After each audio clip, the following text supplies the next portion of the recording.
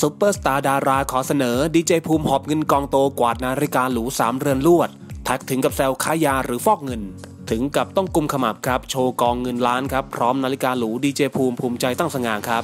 กวาดไปรวดเดียวครับสามเรือน โดยตัวโพสต์ภาพสองมือกุมหัวพร้อมแคปชั่นว่า ไม่น่าเดินเข้าไปในร้านนี้เลย โดนไปอีกแล้วสามเรือนทำเอาเพื่อนๆและแฟนคลับเข้ามาคอมเมนต์แซวกันมากมายว่า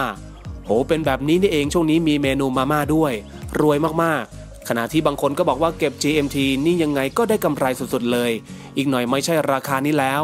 ซึ่งเจ้าตัวก็ตอบกลับว่าราคาเบาใส่กับไนกี้สวย เก็บเก็บตัวที่ขาด รวยซะจนเพื่อนฝูงในวงการแซวครับอาทิแท็คภรัณยูครับเข้ามาคอมเมนต์ว่า พี่สุดยอดเลยครับนี่พี่ขายยาหรือฟอกเงินครับ โดยดีเจภูมิเข้ามาตอบฮาๆว่าค้าก่อนแล้วค่อยเอามาฟอกครับ ถุย เป็นอีกหนึ่งช่องทางในการติดตามข่าวสารสาระบันเทิงดีๆจากเรานะครับ อย่าลืมกดติดตามซุปเปอร์สตาร์ดารา